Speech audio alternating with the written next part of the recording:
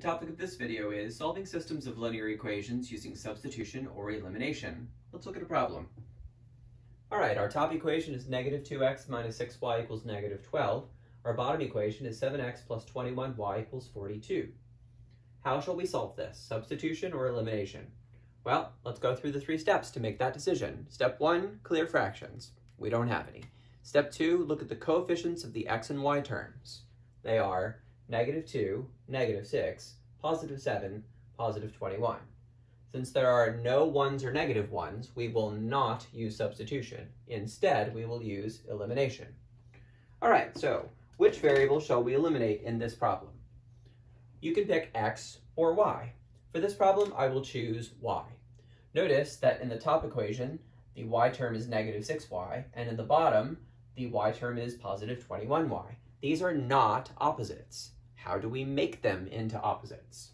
Well, one way would be to take the number from the coefficient of y in the bottom equation and use that number to multiply both sides of the top and also take the coefficient of y from the top equation and use that number to multiply both sides of the bottom equation. Now, what would happen if we did that? We would have to distribute this 21 to this negative 6y. 21 times 6 is 126, so we would get negative 126y. Similarly, when we distribute this 6 here, 6 times 21 is also 126, so we would get positive 126y. Negative 126y, positive 126y. Those are opposites. That will achieve the goal. So let's go ahead and complete our distribution.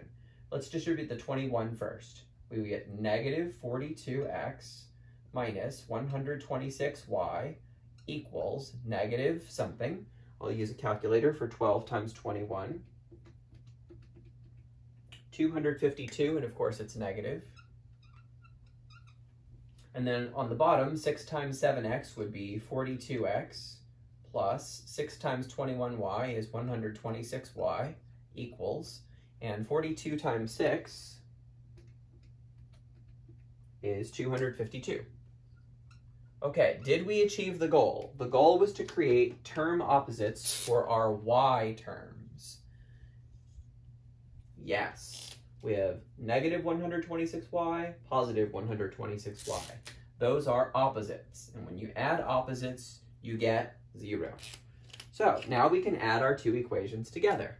So negative 126y plus 126y is 0. Now we just have to work with the other pieces.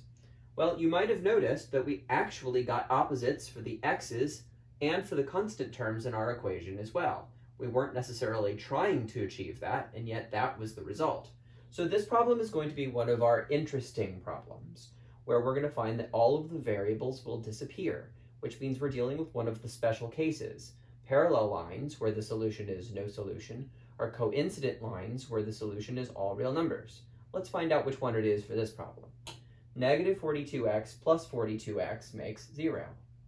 Negative 252 plus 252 makes 0. 0 plus 0 is 0.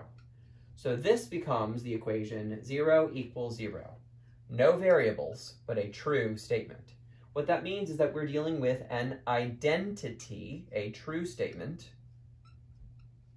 which means that the two lines must be identical, one sitting right on top of the other. Therefore, the answer to this question is there are an infinite number of points that satisfy both equations at the same time. All real numbers is a shorthand way of writing that. But the more sophisticated way would be to say an infinite collection of points.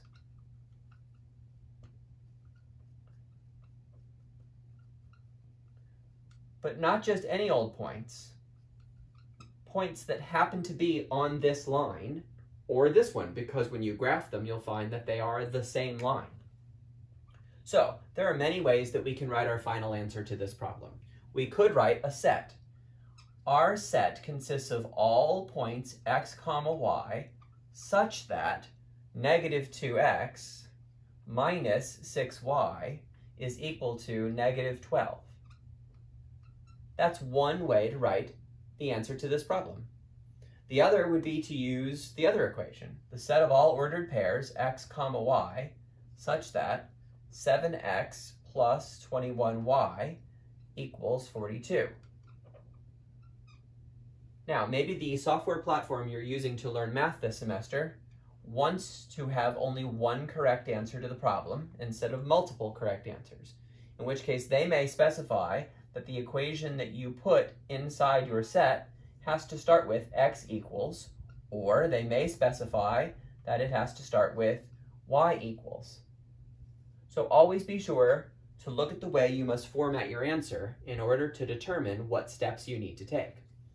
Let's imagine it said x equals. What that means is we need to take any one of our equations from the problem that has x and y in it and solve that equation for x. Perhaps the easiest equation to do that with is original equation 2, since there are no negatives. 7x plus 21y equals 42. To solve this for x, move the plus 21y to the other side. We would have 7x equals negative 21y plus 42. Now divide both sides by 7 and simplify. You would get x equals negative 21 divided by 7 is negative 3y plus 42 divided by 7 is 6. x equals negative 3y plus 6. So we can put negative 3y plus 6. And we would have to specify here that y is a real number.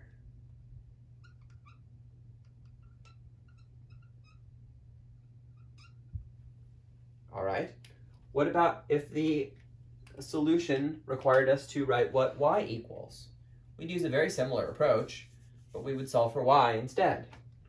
So we would have 21y equals negative 7x plus 42. And this time we would divide by 21 on both sides. Simplify, and we would get y equals 7 divided by 21 is the same as the fraction 1 third, and then we still have the negative. So negative 1 third x plus, and 42 divided by 21 is 2. So we would get y equals negative 1 third x plus 2, where x is any real number. Okay, there we go. There are an infinite number of ways to write the correct answer to this problem. I have provided you with four of them. Hopefully this gives you all the tools that you need to enter your answer in the way your software platform is asking you to submit it.